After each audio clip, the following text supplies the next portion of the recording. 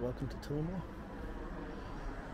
We are in basically in the middle of the country, um, give or take. This is the fourth largest uh, city in the uh, Midlands with a population of 14,640. Yeah, I don't know if that's been updated since the last census. We're just going to take a small stroll around the town centre. It's early in the morning again. Um, there's a few reasons why I do early in the morning. One, to avoid the crowds. Two, so that you can see more of the buildings. Um, three, it, you, you can get around quicker as well, like, so it's a bit more environmentally friendly. You know, if it takes me, like, if it was middle of the day, it'd take me three hours to get out here, whereas this morning it took me 50 minutes. It's less time on the juice as well. And, uh, yeah, well, things are closed as well, so you, the, the, the trade offs, you know. But uh, less people, so I get to talk. So I think this was the edge of the city, and uh, I did like to look at this bar, so I wanted to get this in me shot. Uh, many? So, Hugh Lynch's. You know, looks like they have a pool table and the yeah, local bar, probably do a bit of food.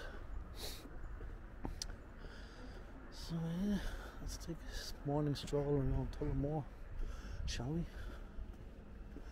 Um, some points I'm just going to go quiet so you can just listen to the ambience of the city. You know, the cars, people talking, stuff like that. People on bikes. I'm gonna still keep these segmented in five minute blocks. My editing, I've been learning a little bit about DaVinci Resolve, and uh, what I use to edit my videos. So hopefully the color grading will be a little bit better. And uh, yeah, this will probably be about five or six parts in Tullamore. Depends. Now it looks big on Google Maps, but yeah, the one downside is that's a fairly big garda station. So, you all criminals down here, or you know, or something. I don't know. What's, what's going on there with that big gas station? We don't even have that size of pallet. And uh, well, yeah, yeah. uh, and for those into fashion, apparently the '60s came back. So we're going to finish up on this road. So we're going to continue around. I just wanted to walk around here.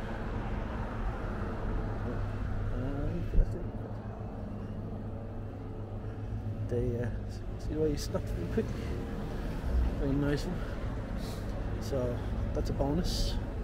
I always do the pedestrian crossing and seemed to be fine there. Right. Whew. It's cold. Cold, man.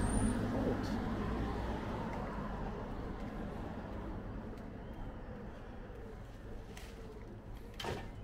Hello, One. how are you? How are ah, you doing? Not a bother. Yourself? Not too bad.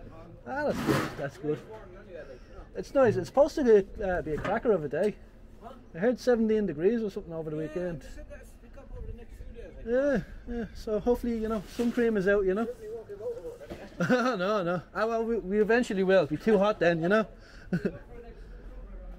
oh yeah. Anyone got 500 grand? That looks like a lovely house. Jesus. That man's in top form. Must have had a few points last night and had his good night. Nice Friday, you know.